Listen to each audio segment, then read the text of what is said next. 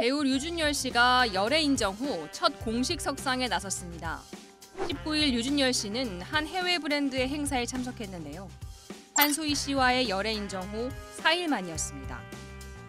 행사에 참석한 류준열 씨는 별다른 멘트 없이 행사를 마무리했습니다. 하트 포즈를 부탁하는 최재진의 요청에도 손인사로 대신하며 조심스러운 모습을 보였는데요.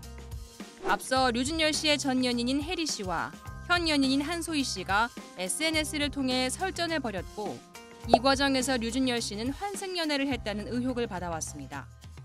결국 혜리 씨와 한소희 씨는 서로 오해가 있었던 상황에 대해 해명하고 공식 사과했지만 류준열 씨는 침묵을 지켰습니다.